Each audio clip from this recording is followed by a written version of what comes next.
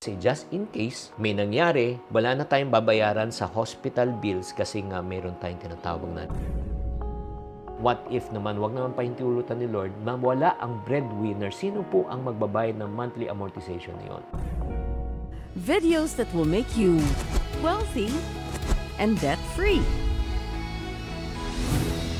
Ikaw ba ay nagbabalak na kumuha ng iyong sariling protection or life insurance? May mga nag-aalok na ba sa iyo at pinipilit ka na magkaroon ka ng isa? Ay kung yan ang tanong mo at gusto mong malaman, this is the episode for you. Hi there, this is Chinky Tan, your pambansang wealth coach. It's really an honor and pleasure to serve you every day at 8 p.m. Kaya kung di ka pa nakasubscribe dito, ito ang channel ng mga paunlad at mga payaman. So please do subscribe. Sa araw na ito, pag-uusapan po natin at benefits of life insurance. If you missed my first episode about the three types of insurance that you should know before you buy, please nasa link na lang ng comment section ko, panoorin nyo na lang po or sa description section ko, panoorin nyo na lang. Okay, ano po yung mga benepisyo? Ay, may mga nagsasabi kasi, bago tayo mag-benepisyo, may nagsabi, Hindi ko naman kailangan ng life insurance. Again, if you are not a firm believer of life insurance, you should not watch this video. Skip mo na to, sayang lang yung time mo. But if you want to know ano ba yung benefits na maidudulot sa iyo, keep on watching. Number one, magkakaroon ka na tinatawag na financial security, especially for your beneficiaries. In other words, protection to eh. Protection to para sa mga dependents. Magkakaroon ka na tinatawag natin na peace of mind. Just in case something happens to the breadwinner, the family can continue to live the lifestyle or can support, di ba, kung ano man ang mga plano nila sa buhay nila. I would rather have something rather than nothing. Ikaw, tanungin ko po kayo, how many of us na experience po natin nung meron pong mga tatanda, lolo o mga magulang, nung nawala po, napag-iwanan pa po tayo ng mga obligasyon. Oo, yun ang masasabi ko. Lalo na hospital bills, di ba, ah, nagbabayad ka. Di ba, mas maganda, syempre, kung, let's say, just in case, may nangyari, wala na tayong babayaran sa hospital bills kasi nga meron tayong tinatawag na life insurance. Di ba mas maganda yon? That's number one advantage. Number two, people always complain about the high cost of living. But alam nyo na ba, narinig nyo na ba yung tinatawag nating the high cost of dying? O paano naman po yung ah, funeral, burial expenses? Di ba in reality, pag ikaw ay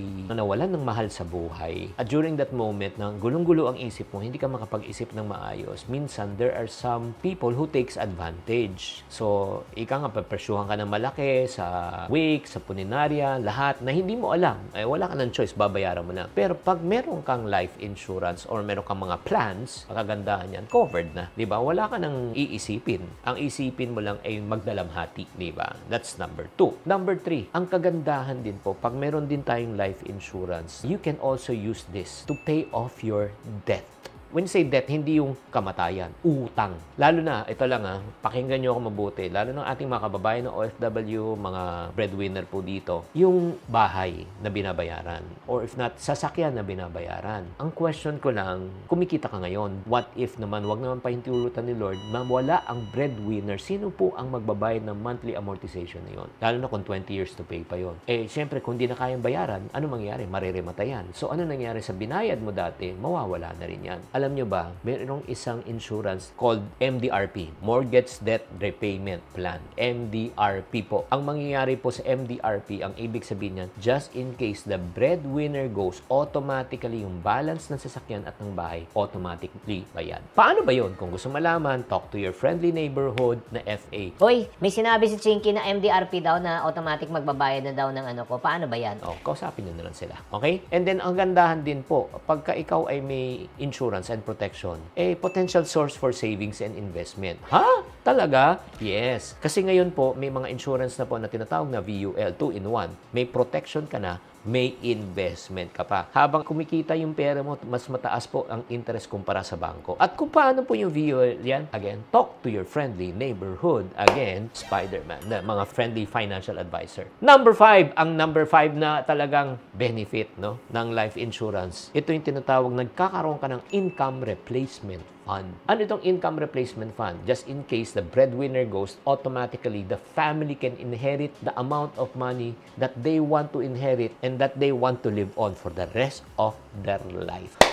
Woo! Grabe! Ano ba yan? Alam mo, I'm a breadwinner myself, so I have already designed a program for myself just in case something happens to me, covered na yung pamilya ko for the rest of their life. At syempre naman, bago tayo magpatuloy, batiin muna natin si Aisham, si Saiken, okay, si Ruel, okay, maraming maraming salamat. At number six, benefit, you can pay off your educational fund of your children. Wala ka nang aalalahanin. Kaya nga, ang pinaka-best niyan, use insurance as a leverage. Lalo na, ito tip ko po sa inyo. Let's say, project nyo na hanggang college, magkano po ang kailangan nyo na insurance na bibilin nyo, ang bilin nyo, term life insurance to cover the educational fund of your children. Ang term life insurance po, annual lang binabayaran. Kasi sa totoo lang, pag graduate na yung anak mo, wala ka ng responsibilidad doon para hindi mo na kailangan yung insurance na yun. At kung gusto mo malaman kung bakit ko tinuturo yan, nako, mami, i-reveal ko na lang sa inyo. Last but not the least na lang, ito, ang pinaka-best niyan talaga, kung bakit natin kailangan ng life insurance is because of what we call as business protection, inheritance protection. Ano ibig po sabihin? Lalo na kung meron na kayong mga properties, meron tayong tinatawag na inheritance tax or estate tax. Pag umao kayo, may property kayo, ililipat nyo sa pangalan ng inyong mga tagapagmana, kailangan po ng pera.